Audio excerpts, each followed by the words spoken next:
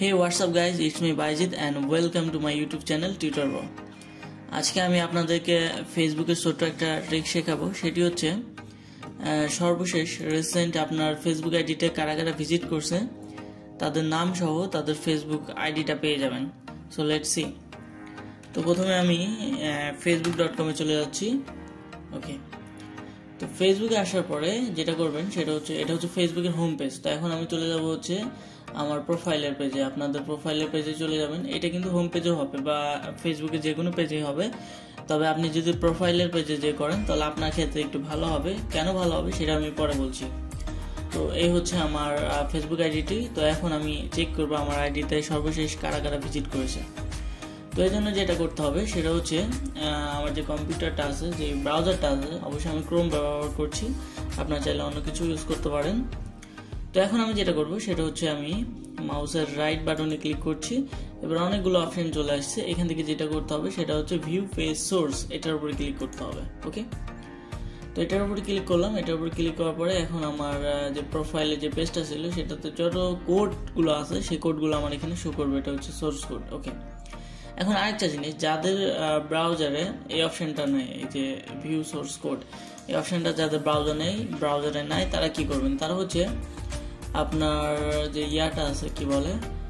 Facebook আইডির link সেটা মনে করেন হচ্ছে আমি আমার ফেসবুক আইডির লিঙ্কটা আমি অন্য একটা পেজে ভিজিট করলাম।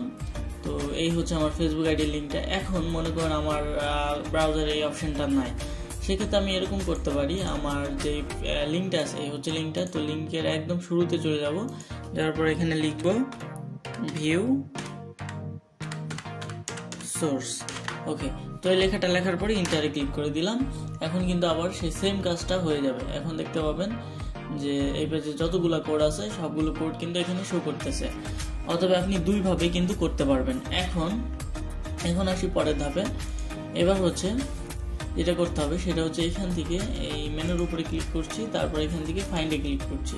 ওকে তো এই চলে আসলো হচ্ছে একটা সার্চ বার এখন আপনি আরেকভাবেও সার্চ বারটা ওপেন করতে পারেন, সেটা হচ্ছে কন্ট্রোল প্লাস এফ ওকে এই ওপেন হয়ে গেল আমাদের সার্চ বার ওকে এবার এখানে লিখতে হবে বার্থডে আইডি ওকে তো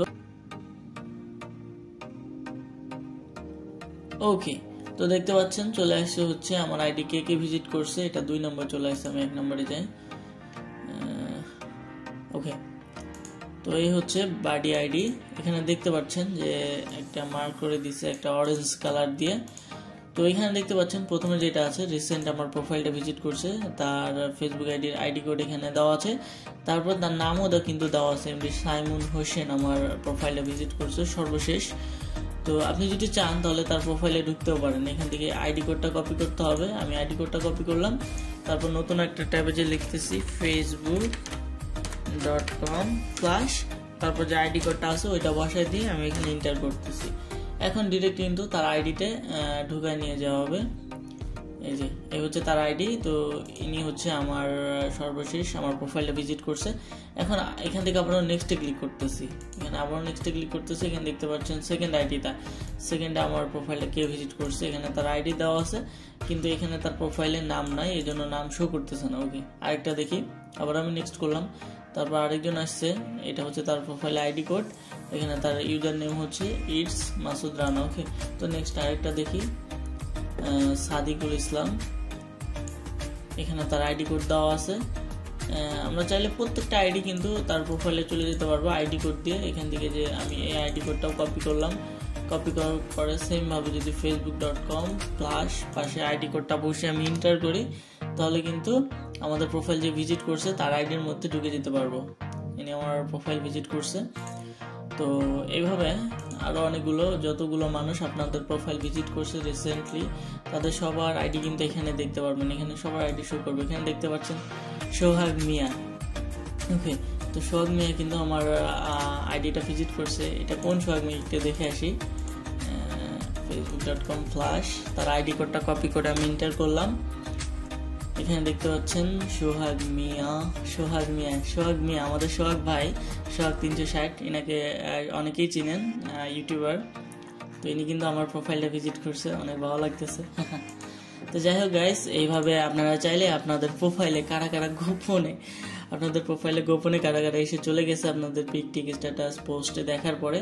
তো সেগুলো আপনারা সহজে এখান থেকে দেখতে পারবেন। আশা করছি আপনারা ভিডিওটা বুঝতে পারছেন। যদিও কেউ বুঝতে না পারেন, তাহলে অবশ্যই কমেন্ট করে জানিয়ে দেবেন। ধন্যবাদ।